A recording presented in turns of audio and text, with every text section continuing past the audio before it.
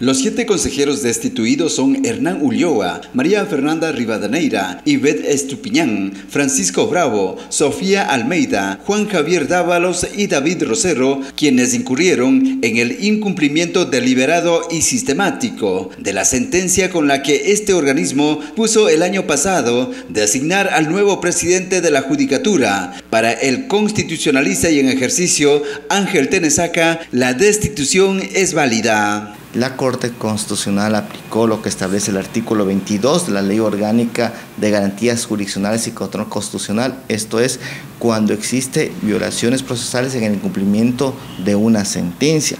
Y entre ellos está lo que establece el numeral 4 con respecto a, la, a los servidores públicos que es la destitución del cargo por el incumplimiento. En septiembre del 2022, la Corte Constitucional ordenó al Consejo de Participación Ciudadana y Control Social designar al vocal y presidente del Consejo de la Judicatura de una terna que le envió la Corte Nacional de Justicia como parte del trámite de una acción de protección que presentó Álvaro Román, quien aspiraba a principalizarse en ese cargo. Los servidores públicos de acuerdo al artículo 226 de la Constitución, el principio de legalidad, tienen que, eh, tienen que cumplir las funciones exclusivamente que les da la Constitución y la ley. Sin embargo, tienen la obligación de coordinar.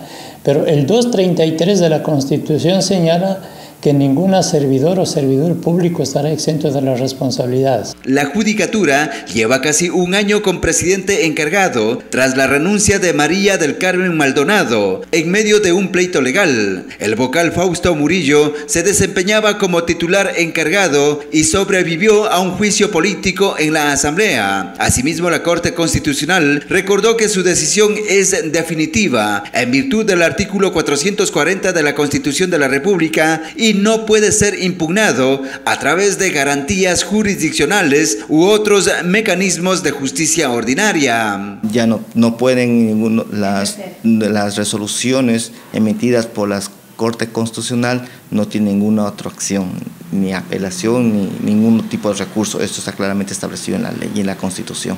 Ahora lo que pueden ellos acudir a los organismos internacionales de derechos humanos con la finalidad de supuestamente eh, que se repare los derechos que han causado, pero eh, constitucionalmente está, está bien hecho las cosas. Cinco de los consejeros están en campaña por la reelección y en caso de ganar los comicios el 5 de febrero no podrán posesionarse en el cargo. Según expertos, solo Ulloa y Almeida no postularon a la reelección. Segundo Toapanta Noticias al Día.